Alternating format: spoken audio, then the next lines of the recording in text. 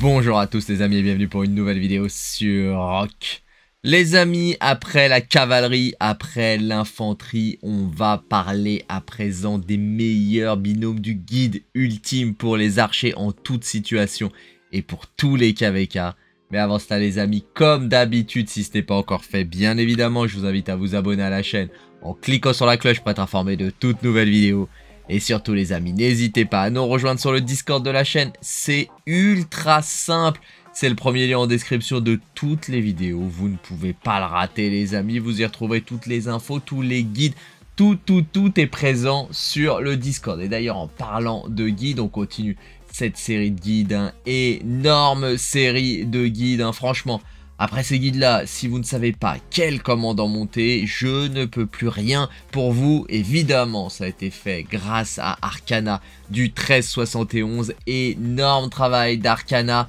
Vous le savez, pas de surprise, le lien sera en description, son Discord aussi en description. N'hésitez pas à le contacter pour toute question. Hein. Il est très réactif. En revanche, en revanche, il n'est qu'anglophone. Notre ami Arcana, donc il va falloir utiliser Google Translation si vous n'êtes pas un pro en anglais.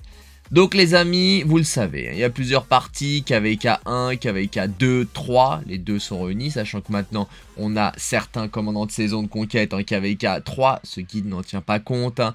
KVK 4 plus, saison de conquête et les extras. Et vous le verrez, on a toutes les situations. Alors là, après le guide archer, après le guide, après le guide cavalerie pardon et infanterie, on est sur du très lourd. KVK 1 quand on veut jouer archer qu'avec 1, ça peut paraître limité, surtout si on est un free player et qu'on n'a pas de commandant légendaire, sinon évidemment tout le monde fonce, sur YSG, hein. mais vous allez voir, c'est pas aussi simple que ça, et finalement il y a des petits binômes qui tiennent la route. Donc KVK numéro 1, binôme numéro 1, Herman Kusunoki, donc c'est un bon binôme, Herman Kusunoki, moi je l'ai utilisé en son temps Évidemment, il est pas mal, ça fait de la OE, self debuff, hein, ça clean bien les debuffs qu'on peut manger. En termes de... Euh, ça enlève les silences, les, euh, ça fait pas mal de dommages aussi avec Herman, c'est pas mal. C'est un bon binôme, surtout encore une fois si vous êtes un free player. On a eu par la suite, il n'était pas là quand j'ai commencé le jeu, hein, on a eu l'arrivée d'Imhotep sur la civilisation égyptienne. Donc Imhotep, il est pas mal, il est disponible en saison 1 alors je suis pas fan hein, d'Imhotep, pour moi, c'est d'ailleurs pour ça hein, qu'il est, mis, euh, mis tout seul. Bon, c'est pas le meilleur commandant à considérer au début du jeu, moi je vous invite à le bypasser et ne pas l'utiliser. Ensuite, on a un binôme légendaire qui a été, encore une fois, très utilisé, mais vraiment au tout début du jeu, il y a 4 ans, un L-Cid YSG. Pourquoi il y a 4 ans? Parce que le Cid, faut bien se le dire, le Cid, c'est un commandant vraiment éclaté, je ne comprends pas trop son utilité, il est total... déjà à l'époque il était naze, alors mais aujourd'hui il est totalement éclaté, surtout à côté euh, d'YSG. Donc, ce duo là, encore une fois, hein, on ne l'utilise pas, on ne monte pas le seed, on monte que YSG. Le seed, vous pouvez l'avoir expertisé comme moi après les quelques années grâce au coffre en or, sinon on l'évite. On a aussi euh, hein, là, 3 et YSG. C'est un nouveau binôme, évidemment, avec l'arrivée des légendaires. C'est un bon binôme, celui-là, avec YSG. Hein. Euh, ils disent là que c'est ce qu'on peut faire de mieux en dommage et en debuff avec YSG. Ça sera le mieux euh, pour Tutmosis 3. Moi, je suis pas un, un fan inconditionnel de Tutmosis 3, même si ça reste très solide. Et peut-être à ce stade le meilleur binôme que vous pouvez euh, monter. Mais attention, par la suite, hein, il va falloir utiliser YSS avec d'autres binômes beaucoup plus performants. On a également euh, avec euh, Imhotep. Bon, c'est le pairing hein, de, de l'Egypte. Bon, moi je vous invite à pas l'utiliser euh, non plus. On en parle là. Ils disent que c'est pas mal sur les debuffs, c'est pas mal sur le dommage pas ouf non plus. Hein. Et on finit avec YKG Medmed. YKG Medmed, oui, alors c'est pas un binôme full archer. C'est pas non plus le binôme du siècle. Donc au final, si vous voulez un bon binôme, les deux meilleurs binômes en KVK1, moi je vous dirais de faire Tutmosis 3 YKG ou Herman Kusonoki. C'est très solide, ça fait le job également. Le reste, hein, je vous invite à ne pas investir dessus, surtout au début du jeu où les ressources sont très précieuses.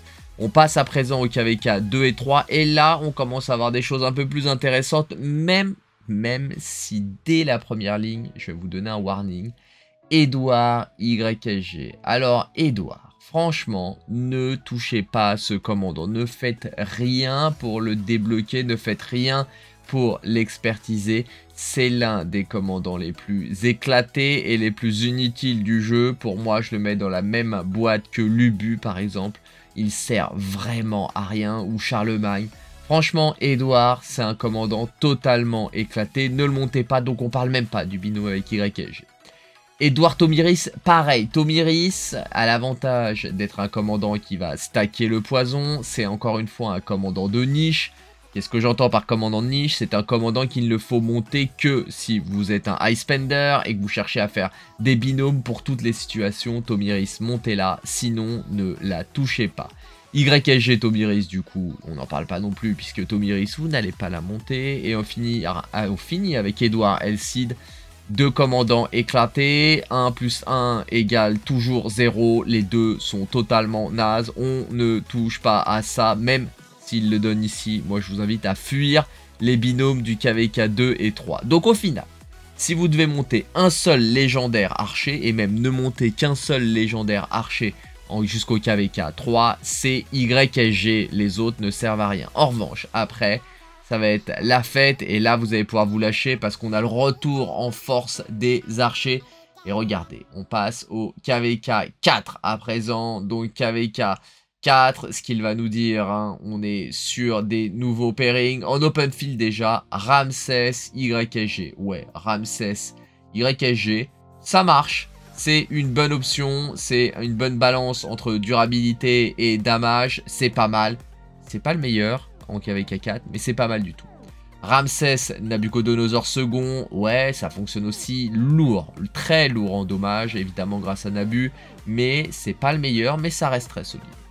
Sirius YSG, low en durability, euh, mais ça reste une bonne synergie, une synergie. Pour moi, c'est quand même deux commandants secondaires mis ensemble, donc c'est pas ce qu'il y a de mieux. Sirius Ramsès, pareil, sur une seule cible, hein, ça fait pas mal de dommages et de debuff avec l'arbre attaque euh, en plus. Mais je ne suis pas fan, je vous conseille pas de monter de toute façon Sirius, ça reste aussi un commandant de niche. Ramsès, il est totalement dépassé, donc à ce stade-là, ne montez aucun des deux. Sirius, Honda, Honda, très solide, on le sait, mais Honda, on est sur l'open field, hein. donc en open field, il n'y a pas de souci, ça reste très bon. Mais Honda, c'est aussi un commandant de niche, deux commandants de niche ensemble. Si on doit choisir qu'un seul entre Sirius et Honda, on prend évidemment Honda, mais là pour le coup, ne prenez aucun des deux. Nabucodonosor YSG, un gros classique des KVK saison 4, ça fait, c'est très tanky, ça fait du double AOE, beaucoup de dommages, no debuff, franchement très lourd, celui-là vous pouvez y aller, mais gardez vos sculptures, il y a beaucoup beaucoup mieux. Nabucodonosor, Tomiris, bon, ça franchement c'est très usé en open field, mais encore une fois, hein, c'est vraiment des commandants pour les high spenders. N'investissez pas dedans, sinon on va dire si vous êtes un free player ou un middle spender, vous allez monter 2, 3 maximum. Allez, déjà si vous avez 2 expertisés, c'est déjà solide. Je vais vous dire lesquels il faut monter. À ce stade-là, de toute façon, vous arrivez, vous avez YSG d'expertisé, ok avec A4, donc déjà vous êtes bien. Amanitor, Artemis première. Alors quand elles sont sorties, c'était très solide. En défense, c'était très solide. Mais là, on est en open field. C'est pas mal en open field, mais, mais ce n'est pas ce qu'il y a de mieux. On commence à arriver à la Big Boss, Boudika YG. Alors, celle-là, il la recommande grandement. C'est un très bon binôme archer, beaucoup de dommages. YSG en plus, c'est une machine à rage, ça vous fait EP la rage très rapidement et ça fait de la l'AOE, donc c'est très lourd. Boudica Honda, étonnant, Boudica Honda, c'est pas mal, plus rapide qu'un Boudica YSG, bonne durability, mais non, n'allez pas sur ce binôme-là, il recommande d'ailleurs Boudica YSG. Boudica Artemis en open field, hein, c'est vraiment, euh, ils disent que ça blesse énormément, c'est solide, mais c'est quand même un petit peu lent comme il le dit, hein. Moi, je vous, ai toujours recommandé de toute façon d'éviter ce binôme Boudica Artemis si vous devez être limité en nombre de commandants légendaires à expertiser. Boudica, Tomiris, pareil, ça reste bien, mais Tomiris, commandant de niche, donc on n'y va pas. Nabucodonosor dans l'autre sens, Boudica, Nabucodonosor, bon, en AOE, mais encore une fois, hein, on va pas aller sur ce binôme-là. Et là, on commence à avoir un nouveau binôme, Boudica-Henri, pas mal du tout. Hein. Boudica-Henri, c'est très bien aussi euh, en rallye, comme on le verra après. L'un des meilleurs en rallye euh, d'ailleurs, Archer. Mais vous pouvez encore faire mieux, donc conservez vos sculptures. Investissez évidemment sur Boudica. Boudica, il faut l'expertiser, mais pas Henri. Henri Nabucodonosor, c'est euh, un pairing très utilisé en open field.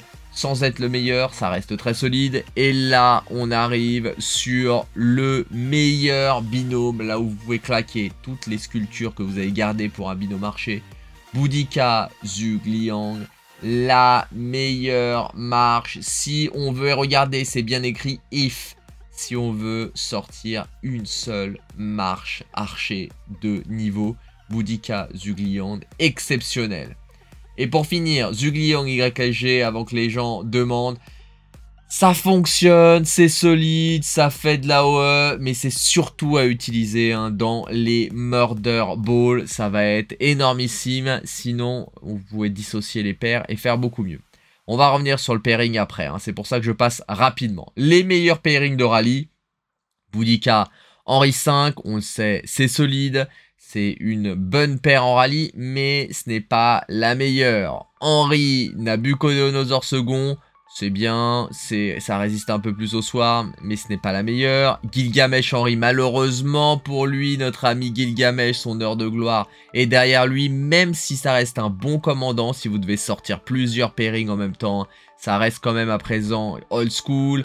Boudica, Gilgamesh, pareil, hein, on n'a plus besoin de se préoccuper de ce genre de binôme avec Gilgamesh, sauf encore une fois, si vous l'avez monté, donc vous pouvez utiliser avec Boudica.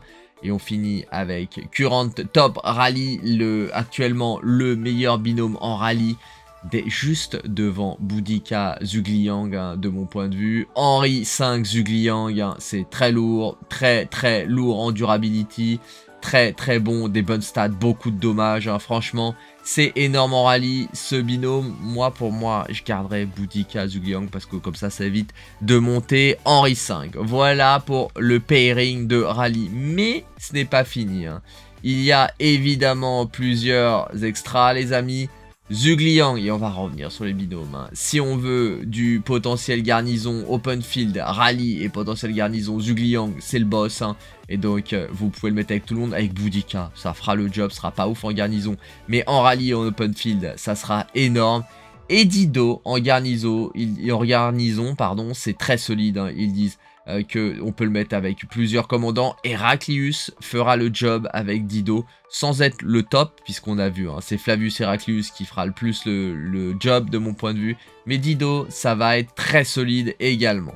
Voilà pour ce guide et on remonte et on revient sur ce que je vous ai dit hein, sur les pairings. On va repartir sur l'open field puisque il était précisé que si on doit sortir qu'une seule marche archer, ici regardez c'était écrit, si on ne sort qu'une seule marche archer, évidemment Zugliang avec Boudica, c'est dans l'autre sens, Boudica Zugliang c'est ce qui se fait de mieux.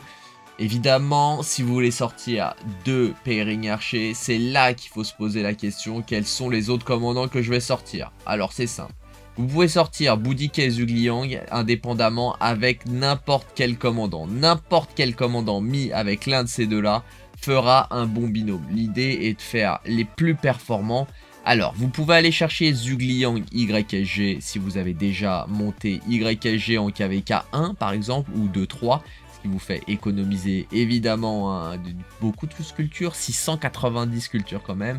Et de l'autre côté, Boudica, vous allez pouvoir la mettre avec par exemple Gilgamesh, Artemis ou Nabucodonosor. Là, vous pouvez faire Boudica Artemis première et Zugliang YSG. Ça vous donne deux binômes archers, deux marches archers très solides, mais la faiblesse va être que la Artemis va être faiblement utilisable dans d'autres situations, là où si vous faites un Boudica Nabucodonosor, vous pourrez encore éclater en deux euh, ce binôme-là et avoir trois marches qui seront d'un niveau moyenne. Plus on a de marches évidemment, plus le niveau baisse. Voilà, donc pour résumer, si vous devez investir dans un seul commandant archer, ça serait Zugliang.